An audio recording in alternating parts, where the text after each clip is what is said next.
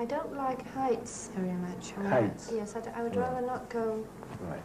to the top of the building and stand by the edge, Mhm, or by the edge of a cliff or something. You have fear and vertigo at the same time, or No, only, I don't have only vertigo. fear? It's just fear. I can sort of Uh-huh. see myself falling over if I go near, or the children.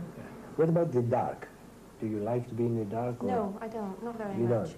I sleep in the dark, Yes, sir, but, but um, if I wake up uh-huh. and it's dark, I'd rather I sort of switch on the light quickly. What about thunderstorms? They don't bother me, as long as they're not too close. If they're overhead, I don't like them, but if I can just hear them at a distance, it's not bad. You afraid of fear of mice? No mice? No, I'm No, not afraid of you're mice. afraid. Again, I don't like them if they're running around under my feet, but I Uh-huh, can, right, if somebody gives me one, I can pick one up. If it's a pet mouse.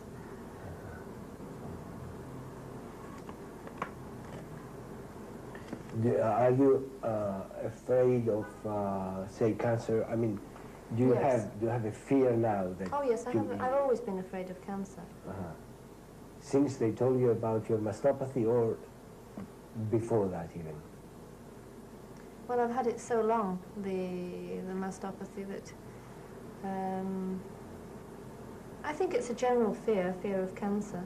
Fear of cancer. Yes. That overwhelms your. Uh, uh, your uh, overwhelms you sometimes. That fear that freezes you, paralyzes you for some moments. did- then you go over. It did until I knew what I'd got. You know, when you find lumps in your breast, you immediately, immediately Yeah. think you've got cancer. So Right. until you've been to the doctor and had it checked, that's why I used to, you know, go to the doctor straight away. Um, when he told me that it was all right, I mean, sort of your fears just go away. Right. Right. But since I read this article, I've been a bit worried again. Do you put weight easily? Yes, Very easily, and you lose it very with great difficulty. yes, yes, That's the case. yes. I'm always trying not to To- eat. Not to eat. Do you like eggs? Yes. What form? Soft boiled. Uh, soft boiled usually. soft boiled. Soft boiled, yes. I don't. I'm not keen on hard boiled eggs. You're not keen. No. I like fried eggs, poached eggs. You have a good appetite in general. Yes, Good appetite. Very good. Eh? very good. You want it. You want to reduce it. I would like to reduce. Yes, yes. I'm always hungry. We try to bring about a, a balance in the whole individual.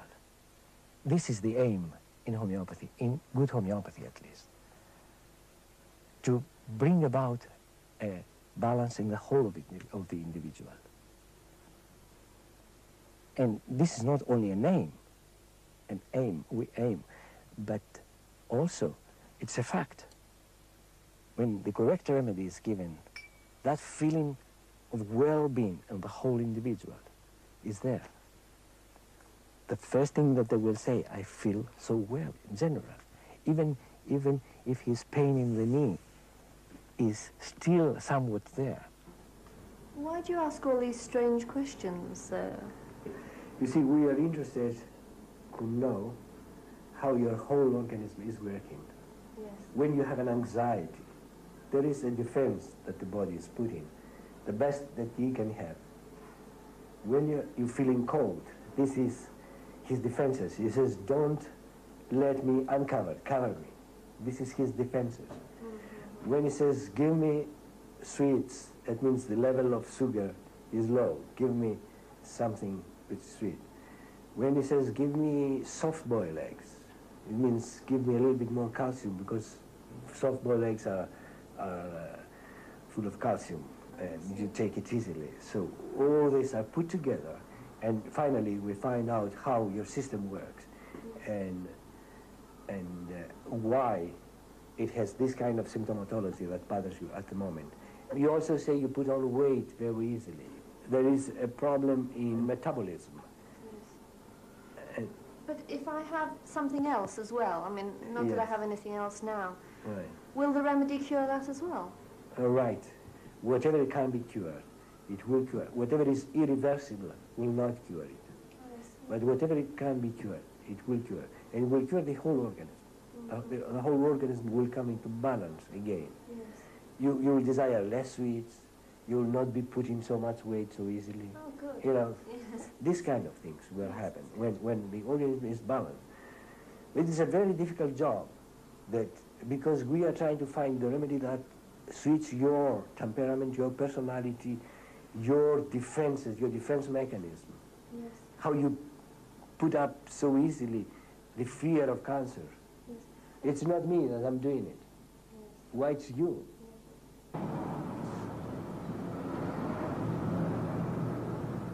George Vithoulkas brought homeopathy to Greece 20 years ago. He's practiced and taught in Athens ever since.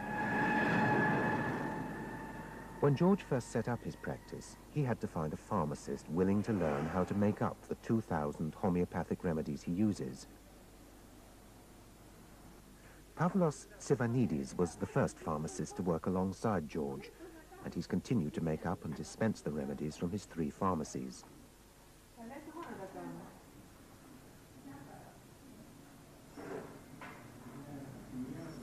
The remedies are either plant, mineral or animal based, although sometimes they can be a product of the disease itself.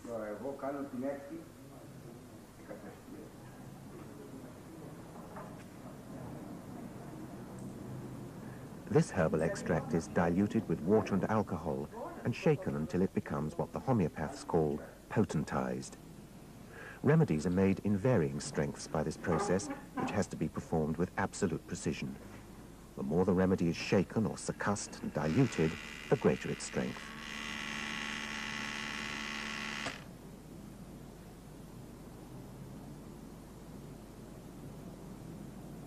Some are so dilute, there's not a single molecule of the original substance left. But homeopaths believe the energy remains despite the dilution, and that's what makes the remedy active. By adding lactose, it's turned into a powder before one last succussion. The remedy is then ready to store in one of Pavlos's specially made drawers, hidden from heat and direct sunlight, both of which are thought to destroy its therapeutic value. These remedies are aiming to achieve something totally different to those prescribed by a conventional doctor. Each remedy has been tested as an undiluted substance on healthy people, who as a result develop Homeopathy believes that if the substance can produce these symptoms in a healthy person, it can cure them in an unhealthy person. Everybody says, look at the whole person, look at the whole person. But uh, finally, he takes a painkiller for his knee. Wh what about his anxieties, his depressions, his fears that he has on another level? Oh, uh, give him uh, a Valium. But Valium does not take care of the knee. The painkiller will not take care of, of the anxiety. A Valium will not take care of the lower uh, memory of the person. And uh, actually sometimes by taking a drug, uh, allopathic drug as we call it, a person may have what we all know as side effects, which means uh, some portion of this human uh, being is patched up and some other portion is suffering at the same time and because of the medicine. George was an engineer before studying homeopathy in South Africa and India. On his return to Athens, he founded the Athenian School of Homeopathic Medicine, a clinic with 27 practicing homeopaths, because George believes that this is the best way to learn homeopathy. He's the only homeopath in Greece who's not a doctor of medicine. When he returns here, even the trained homeopaths want to sit in and learn from his case-taking. Uh, the heart, the heart uh, does not flutter, you know, or Does beat, qu- nothing of that nature.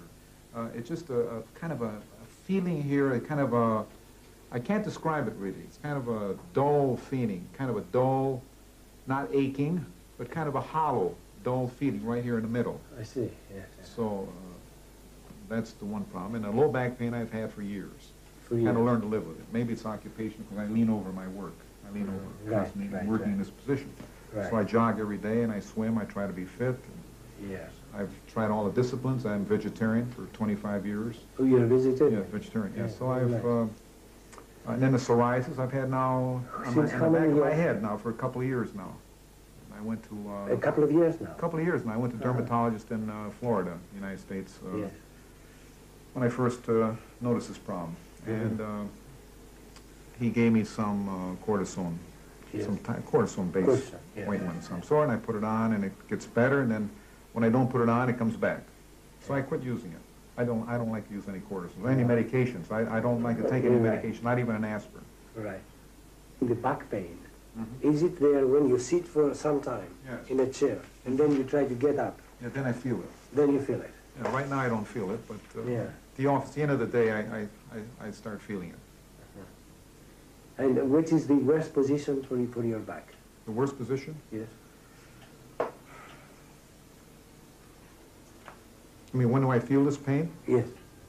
I guess when I'm leaning over, When you I'm lean looking at these kids all day long, and I'm leaning over. yeah, yeah. And, uh, you know, with the anxiety and the stress in the office and the confusion, and that might uh, tend to uh, accentuate it, I don't know. Right. What is this that really you crave for? Particular food or foods in general, like fruits or vegetables or what? Vegetables, uh, Well, I like, I like anything natural, anything raw and natural. Like it's, like a raw salad Right. or fresh fruits. right. And I like nuts. The homeopath's Bible is the Materia Medica. Like. It lists all the remedies and goes into great detail in its descriptions of the symptoms to which they apply. Sweets, do you take? I used to like sweets, but I've eliminated them from my diet. Mm-hmm. Uh, Not because I don't like them, but because I know they're bad for me, Right. you know. And so consequently, I've learned to avoid them, and now I've lost my desire for sweets. Right. But I like sweet, uh, you know, like, like sweet fruit, Yes. or, you know, raisins or dates or figs, something like that. But Right. I have a little bit, and that's it. I, I don't crave them, you know. I don't uh, eat excessive amounts of fruit. Uh, well, do you understand uh, how our medicines act? Like to learn about it. Let us say a normal person will have a, uh, a kind of almost normal uh, diagram Mm-hmm. like that, Yes. and is is acting. Uh, um, his body is is in balance, Mm-hmm. and if stress is attacking. This organism, then the organism, in order to counteract the attack, produces symptoms. Symptoms are showing the defense of the body. Yes.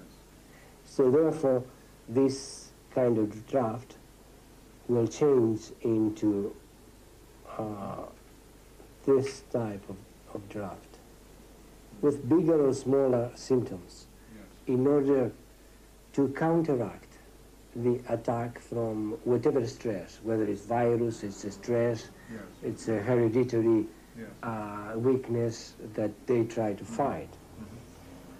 We're giving more force to the uh, to the defenses in order that finally, through that manifestation of symptomatology, the organism tries to regain its uh, lost balance. Yes.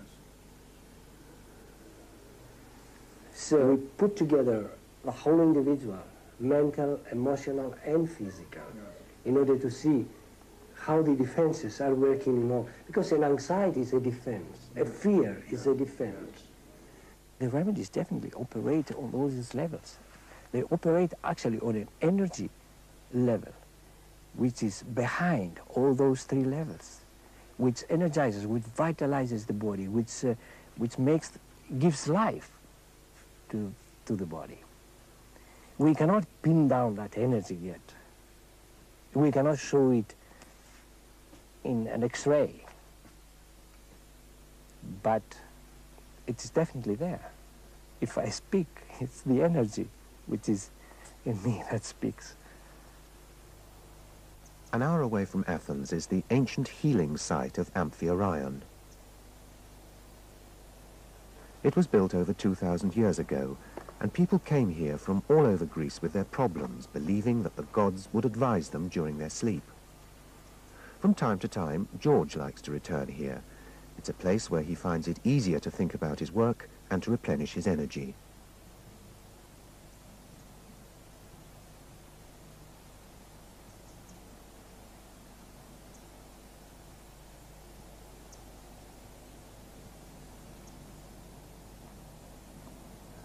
Great Greek physician Hippocrates believed that like could cure like. The idea was taken up by Samuel Hahnemann in 1790. He studied medicine at the University of Leipzig, but was disillusioned with bloodletting, leeches, and the use of toxic chemicals. Hahnemann came across a paper that concluded that the successful treatment of malaria with Peruvian bark was due to its bitterness. Unconvinced, he experimented on himself and experienced all the symptoms of the disease. Next, he collected the details of accidental poisonings, and he and other interested doctors began systematically testing substances on themselves. They recorded these observations for six years, and their work still forms the basis of modern homeopathy.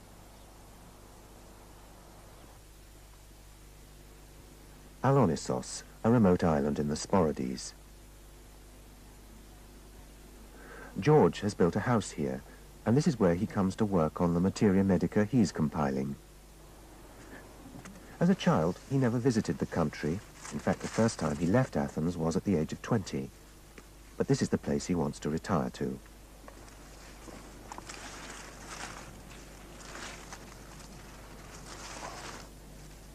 There's not a lot of time for George to go fishing or look after his small plot of land. For nine months of the year, he's abroad, teaching fellow homeopaths and seeing their most difficult cases.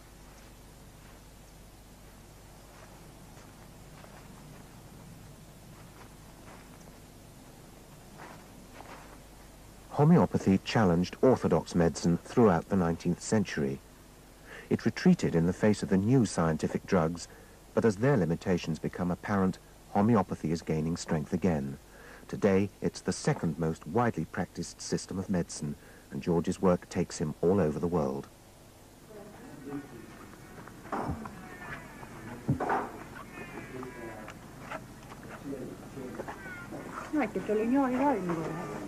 A good simple diet, sunshine, the sea, and a relatively uncomplicated, stress-free lifestyle all contribute, George feels, to Greek people being easier to treat than most Americans or North Europeans. Whenever he returns to Alonissos, the word gets out and the islanders flock to his door to have their cases taken. Καλά, εσύ. Φάει πίπο είναι. Ηρόπιτη. Φάει πίπο είναι είδες. Ηρόπτης, ε. Τι έγινε. Τα γόνατα μου. Τα, όπου υπάρχει κλήρος, πονάνε. Όπου υπάρχει κλείδωση όλοι πονάνε. Η μέση πονάει πολύ. Η μέση α, πονάει πολύ. Α, πότε πονάει περισσότερο; Άμα κουραστώ πιο, πιο καιρό. Σκύψε. Όταν σκύβεις, θα μαζέψεις χόρτα. Όταν σκύβω δεν πονάει. Δεν πονάει. Όχι. Πότε πονάει, αν κουραστείς. Αν κουραστώ και, ε, και όταν περπατήσεις. σκύβω και όταν α, περπατήσω, όταν περπατήσεις, όταν τότε. περπατήσω πολύ, ε, γίνεται τίποτα. Δεν είναι το τίποτα. Ωραία. Θα σας πω. Α, Παραλιέται. Α, Μάλιστα. Άλλο τίποτα έχεις περάσει έτσι καμιά μεγάλη αρρώστια; Δεν έχω. Τίποτα. Γεροί ήρθαν, ας πούμε, σε όλη Ναι, την ναι. ζωή. ε. Γεροί. Γεροί. Υδρώνεις πολύ, υδρώνεις; Υδρώνω, δεν λες Ωραία. τίποτα. Περισσότερο πού, σε ποιο σημείο υδρώνεις; Στις μασχάλες, στο πρόσωπο, στο Όλο, κεφάλι; όλο, όλο, από το κεφάλι μέχρι στήθος. κάτω. Όλα, Α, όλα. Από το κεφάλι μέχρι κάτω. Το Τι- πρωί που ξυπνάς, είσαι πιασμένη, δηλαδή τα πόδια στα χέρια σου, οι αρθρώσεις πονάνε; Ναι, ναι, ναι, πονάνε. Και πότε περνάνε; Πότε περνάνε οι πόνοι. Κάνεις, Όταν περπατήσω. κάνεις λίγο, μερικά βήματα, Ναι, σε περπατήσω. 5-10 λεπτά ή περνάει και μια ώρα; Όταν περπατήσω και κάνω λίγα βήματα, ε, Λύνονται. ε, λύνω. Αχα, λύνονται. Στο κρεβάτι, πονάς καθόλου στο κρεβάτι; Όχι. Όχι. Άμα, Όταν παναγυρίσεις στο κρεβάτι, να κάνεις κινήσεις στο κρεβάτι; ναι, όταν α, που, και, ε, αυτό πουλεί τα πουδάρια μου, πονών και στο... Αχα. Ή έχεις και άλλο, τίποτα; Δεν έχω άλλο. Δεν Αυτά έχεις τίποτα. είναι. Αυτά είναι. Ο ύπνος σου είναι καλός; Ύπτος, άμα δεν πάρω χαπάκι δεν κοιμόμαι. Α, πες καμπάκι. Με ποια πάει για να κοιμηθείς. Τι χάπια παίρνεις, ξέρεις πώς τα λένε; Τα, τα μπολ αυτά. Τα, τα μπολ. Τα βόρ. Τα μπολ, ναι. πώς Τα, τα λένε. τα μπορώ, ναι, ναι, ναι, ναι. Τι έχεις έτσι, άγχος έχεις μέσα, σε πιάνει μια Άμα- τρεμούλα της. Άμα δεν μπορώ να κοιμηθώ, Ε. βλέπεις και χτυπάει ε, το στομάχι μου και παένει. Ε, ε, ε. Με πιάνει. ε, Στο στομάχι το νιώθεις, δηλαδή, Ε, το, ναι, αυτό ναι. σαν χτυπάει ή σαν να σφίγγει κιόλας στο Να στομάχι. χτυπάει. Να χτυπάει. Ναι. Ναι. Αυτό το στομάχι που, που χτυπάει σου, σου φέρνει ας πούμε και Με φαίνει στην αχώρια. στεναχώρια. Ε. Στην αχώρια. Σαν κάτι, σαν, σαν κάτι να σε... Να, ένα, ένα πράγμα εδώ μέσα να μη σφίγγει, να μην ξέρω. Πρώτα, πριν να πάω στο Βόλο, σπώνομουν όλη νύχτα πάνω και δεν ήξερα τι να κάνω. Αυτό το σπίτι, όλη, όλη νύχτα. να- Αυτό καμιά φορά είναι και σαν να μην μπορείς να πάρεις αναπνοή, σαν να κόβει την αναπνοή σου; Όχι. Όχι. Είναι μόνο χτύπημα στο Ναι, στομάχι. χτύπα, ναι. Μάλιστα. Christ. Um, experiment.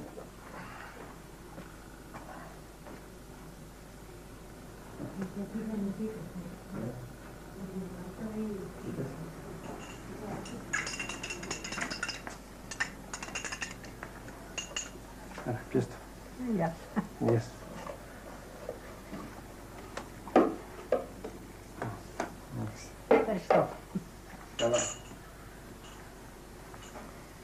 Have um, come to the conclusion, actually, that uh, the health of our race, especially of the Western people,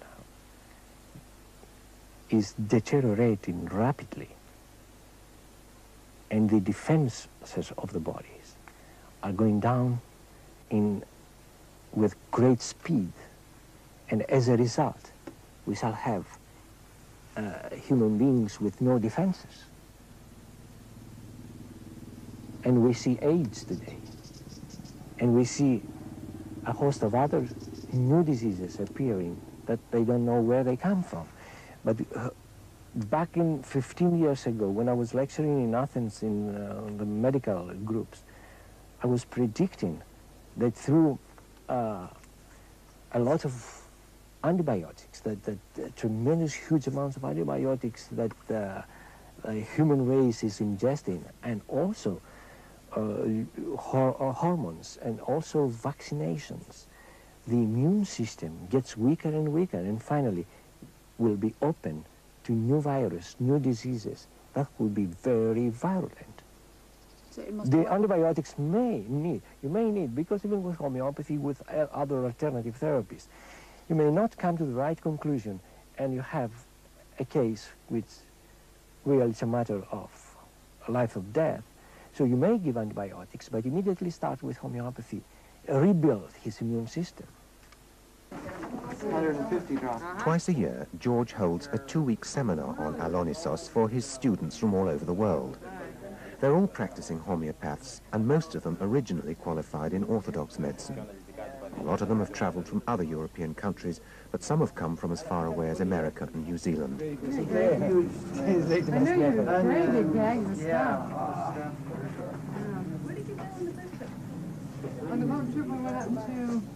Here at the village school, George discusses his new findings on some of the remedies, takes students' cases, and presents some of his more problematic cases on video.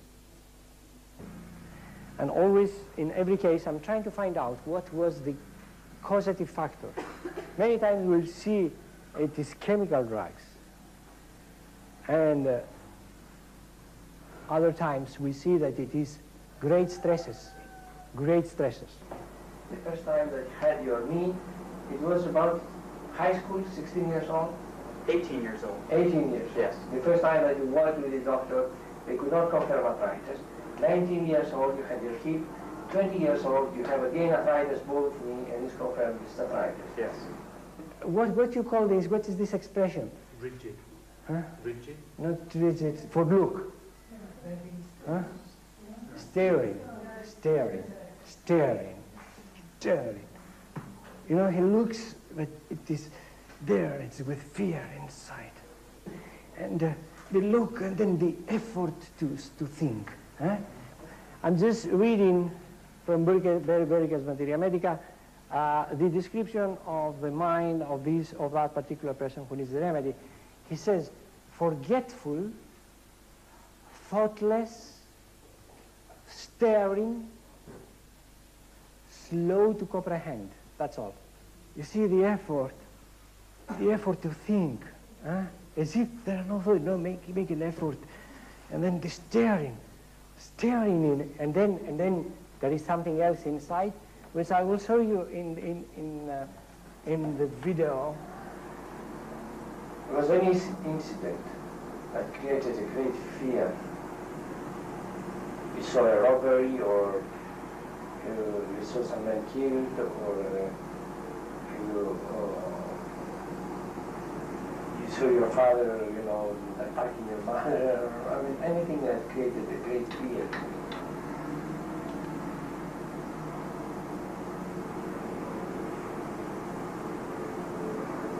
I, I have a, an incident that that I remember Yeah, every once in a while, and it, and it still it still bothers me. yeah. Um, do you want the Do you want to know about the incident? Yes, yes. Um, I used to be a lifeguard, and um, A lifeguard. yes, at a at a lake, watching the water. and I was called over to an area to bring a first aid kit for someone who was injured, uh, who had cut their foot. And while I was there, a woman came over and said that they had, her and her boyfriend had just tried to swim across the lake, and as she turned around, her boyfriend was gone. And the other lifeguards and myself had to dive to find this person. And I was the one who found him. I was diving into the water uh, and swimming, and it was sort of, sort of uh, murky water, and you could see maybe this far in front of you. Uh, and I just sort of came on on this person, uh, and he was looking up from the bottom of the lake, and it was Oh, a scary experience. And I, even though I knew I had to bring him up, I it scared me so bad that I couldn't I couldn't physically bring him up. Well, Guaiacum uh, 200 was prescribed in this case. And uh, the first thing that changed, according to the information, the medical doctor who was attending him was a friend, actually, of his, of his, and of his family.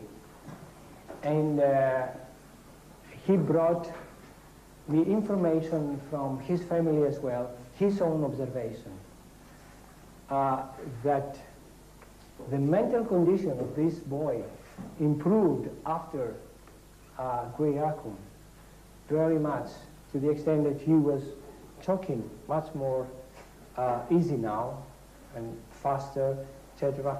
And his pains within a month, within a month and a half, have been reduced to half. The swelling also had been reduced quite significantly without still being able to walk freely.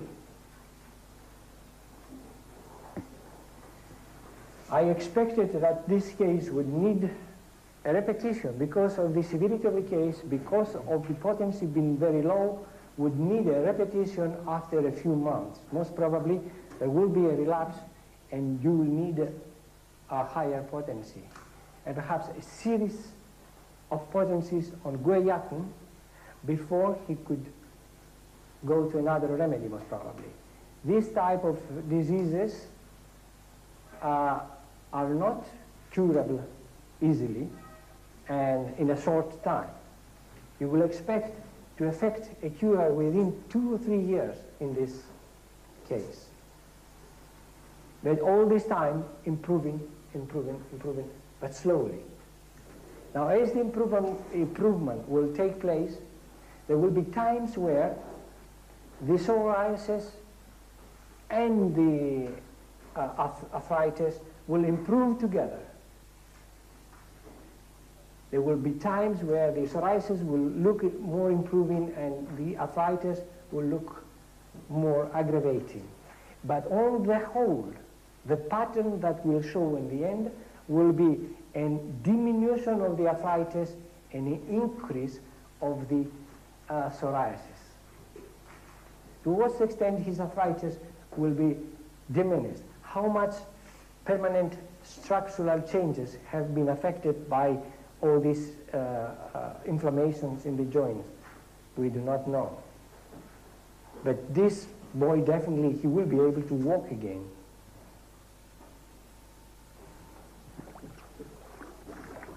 ¿Eh?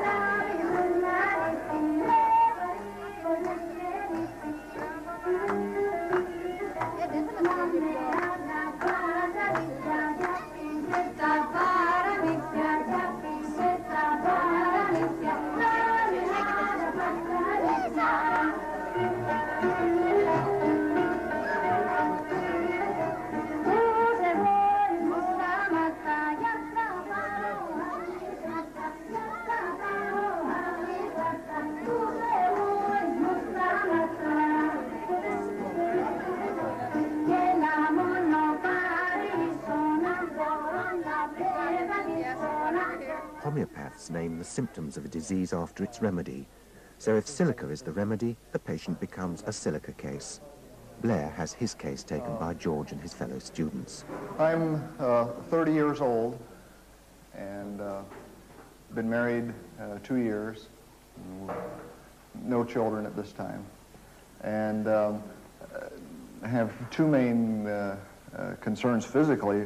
And first, the headaches, um, uh, severe headaches on usually on the right side, and um, the um, headaches uh, at one point would respond to some homeopathic remedies um, once or twice, like bryonia or nux. And now the only thing they seem to respond to is osteopathic manipulation. Um, in, in this point, in this point, uh, uh, he started telling his story. He says right-sided headaches. He did not mention left-sided at all. Therefore, uh, when he says right-sided headache, which remedies shall we be searching? No, no, no. Belladonna, sanguinaria, is exceptionally right-sided. Belladonna, belladonna, which is a right-sided remedy. Lycopodium, again a liver remedy. Chelidonium, Chelidonium. Does he look like a muriat, natrium muriaticum case? No, no. Why? How you would describe him? Extroverted and cal calm, eh? calm. The other complaint, yes. Well, other th about the headaches, although this isn't really just with the headaches, but in general, in the past two or three years, my head is real sensitive to wind. And like I can't ride in a car with the window rolled down, is that it gives me, it'll give me a headache or just make me irritable. Another remedy that we have to be thinking if he tells that he gets headaches from wind, it is the famous remedy? Famous remedy?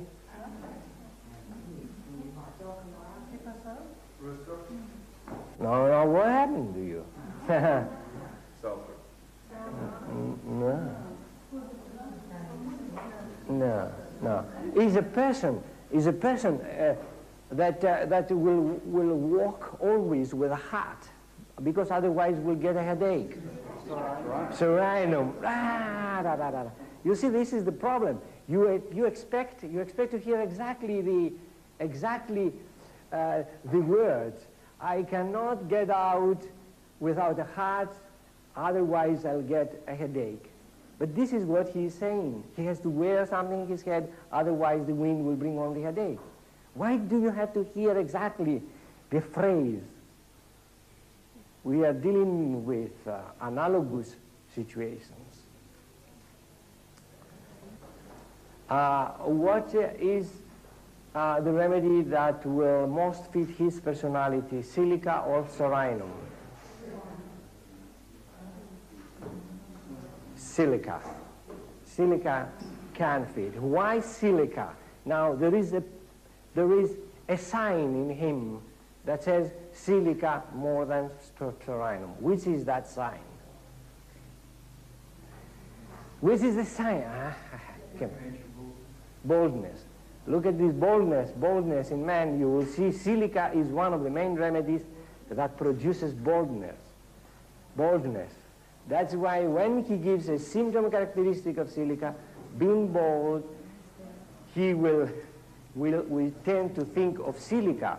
Now, in order to be a silica patient, what does he have to have? Sweats, sweats or sweaty feet or sweats in different places, but mostly he has to have an aggravation from from cold, an aggravation from cold. Very good. Well, that's the other thing that causes headaches is that I, I, my head cannot get cold. Homeopathy, actually, I feel, has been abused. The name has been abused. Because homeopathy is a when the physician the homeopathic practitioner tries to find that remedy that has produced the totality of symptomatology of the person. Now, in many instances, because the practitioner or the physician is lazy or not knowledgeable, instead of trying to find that remedy, which the only one that is required, he will give 10, 20, 30, 40 remedies at a time, hoping that within these 40 is the one that's the correct one. We have uh, a knowledge of sulfur given mostly by, uh, by Kent, right? I feel that this picture, as it's presented in uh, the end of the 19th century of sulfur, is not uh, a representative of the picture of sulfur of today. I have discovered that we, we have basically two types of sulfur, both of them consuming a great amount of food and drink, all kinds of drinking, first, with a high metabolism, and the one is very lean, and the other one is quite plethoric and sometimes obese.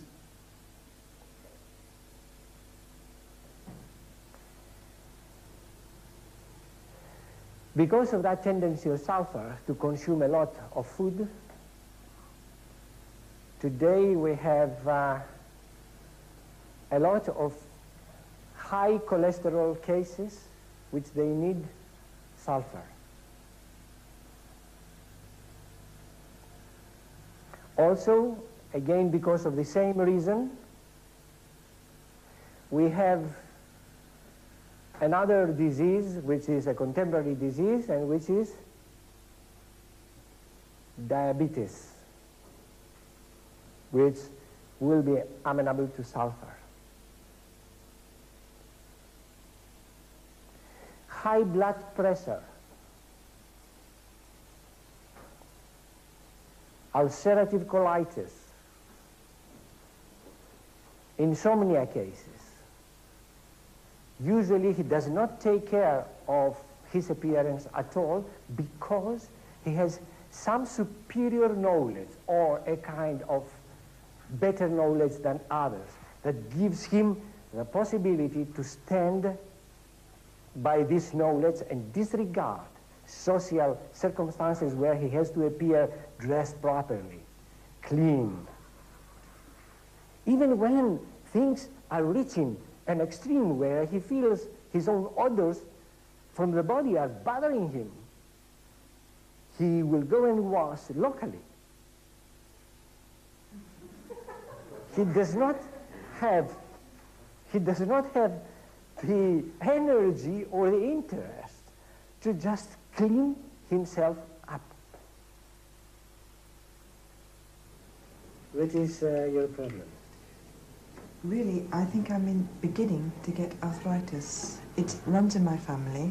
Yes. My mother, in fact, died about six months ago, and on the death certificate they gave arthritis as one of the causes because of the amount of medicines that she'd had to have.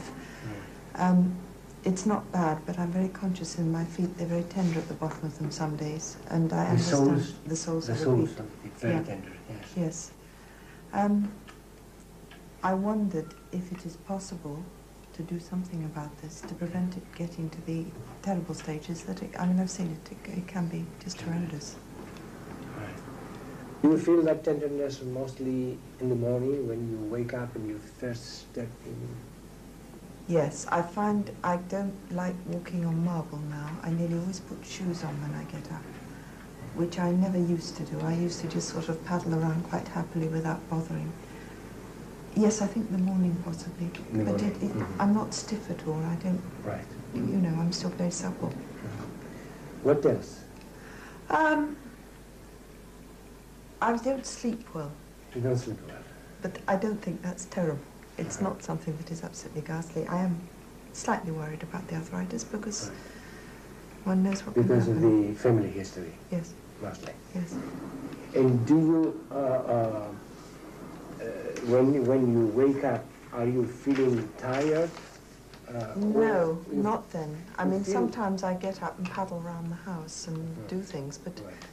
it's okay, I can do that. But sometimes I just sit in bed and read. But that is also something that is in the family. My mother does the same thing there. This is why. Yes. Will you um, have cold feet or very warm feet or? Well, now, again, I've noticed I put a blanket at the bottom of the bed because I think it's the arthritis. You need uh, more warm. in- More in- warmth in my feet, for in- my in feet. feet. Yes, Ah, yes. I see. Right. Um, can you uh, describe a little bit your character? What type of the person Um, you are? I think I'm fairly nervous. I've got a degree in physics, so I mean, I'm, I'm presumably fairly. But uh, I worry quite a lot, I think. But it, it's difficult. Um, I'm a fairly conventional person. I have three children, a, a husband, you know, I, I'm a fairly normal sort of But uh, person. are you easily irritated, uh, angry? Um, Well, I think I am, but people, other people tell me I keep very calm. mhm, So, Right. Are you weeping easily? no. Even if you see a, a picture in the cinema, you won't weep? Sometimes, but Sometimes. not a lot. No, I. I But you're not a weepy person. Not, No. not a person I think I was as a child, but I, I, I must say that I did try to stop myself. But not now, no.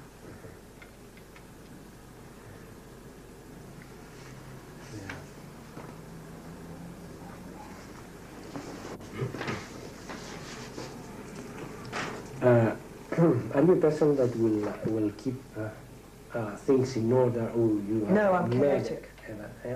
I'm chaotic, I think. chaotic? Yes. Yes.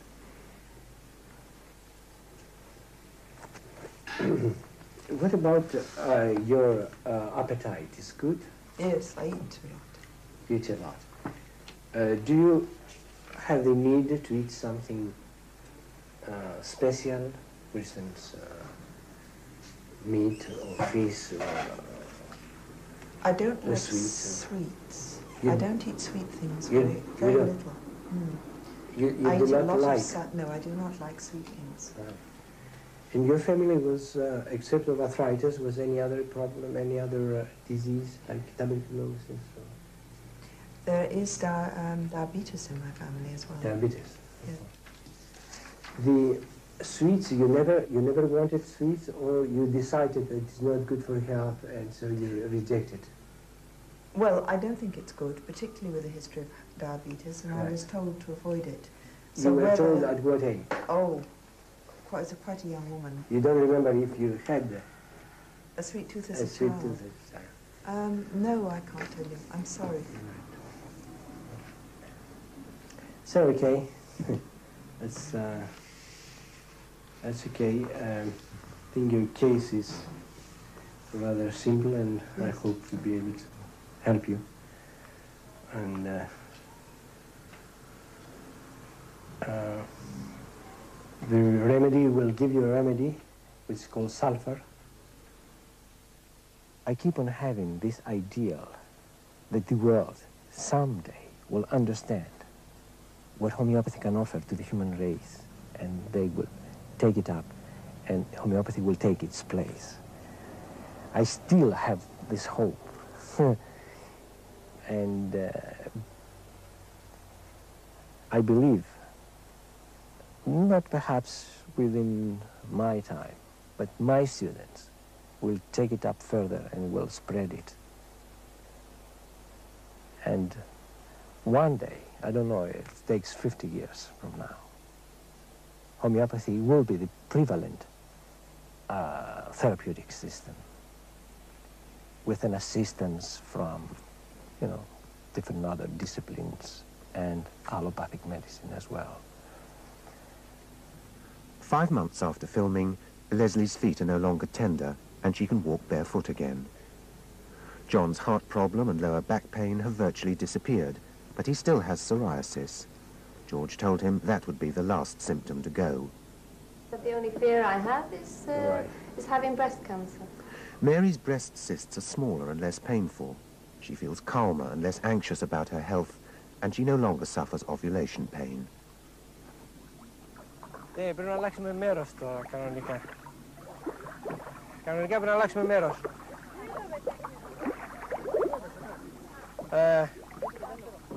Vale, Pedro.